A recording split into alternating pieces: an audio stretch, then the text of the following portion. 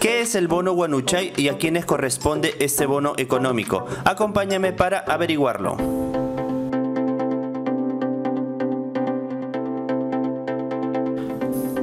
Guanuchay es un bono individual de 350 soles que está dirigido a más de 65 mil productores y productoras de la agricultura familiar. Entonces está dirigido a hombres y mujeres del campo que conduzcan menos de 2 hectáreas y que pertenezcan a hogares cuyos miembros no han sido beneficiarios del bono Yanapay.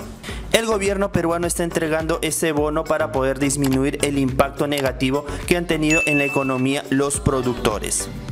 Entonces, si tú cumples estos requisitos, ser hombre o mujer del campo que maneja menos de 2 hectáreas y que ningún miembro de tu familia ha sido beneficiario del bono Yanapa y Perú, entonces puedes acceder a este bono.